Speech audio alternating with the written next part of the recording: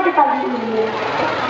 Alhamdulillah, syukur kerana pada pagi ini, SK Kemasik merupakan sebuah sekolah yang telah terpilih menjadi salah satu tempat penyerahan dan agihan jalur gemilang dalam pro dalam program Your Spirit dan Kembali Jalur Gemilang sempena kempen Kibar Jalur Gemilang Daerah Kebaman 2015. Sekarang saya akan dapatkan sedikit maklumat daripada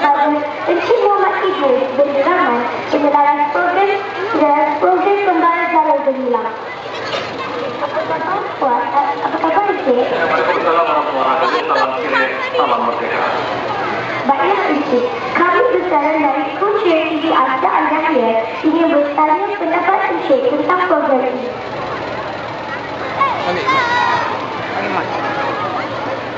Apakah tujuan sebenar program ini dijalankan? Uh, tujuan sebenar uh, program ini kita laksanakan menjelajah uh, seluruh negeri dan seluruh negara.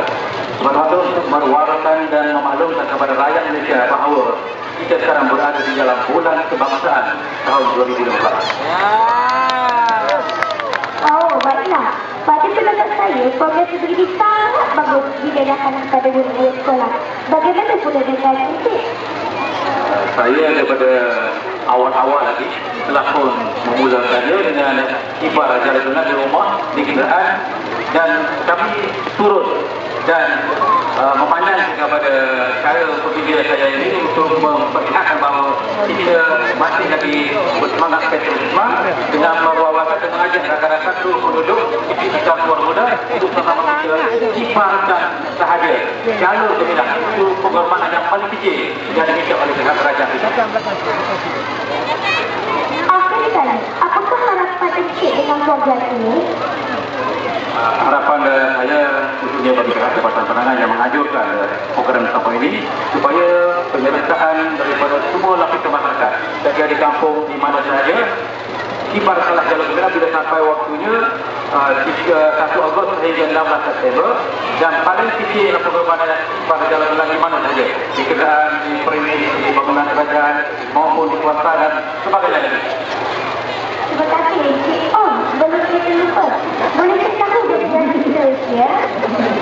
Uh, destinasi seterusnya pada hari ini kami berkampung di daerah Kemaman dan besok akan ke Review Nusa Haribah di daerah Hulu Terengganu bersama-sama dengan Yang Amat Hormati Malang Perdana Menteri.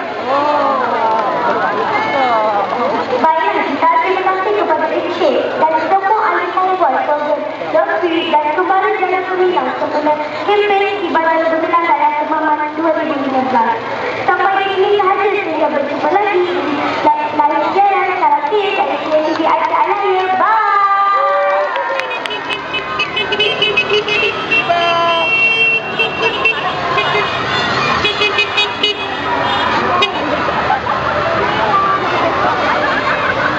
belakang.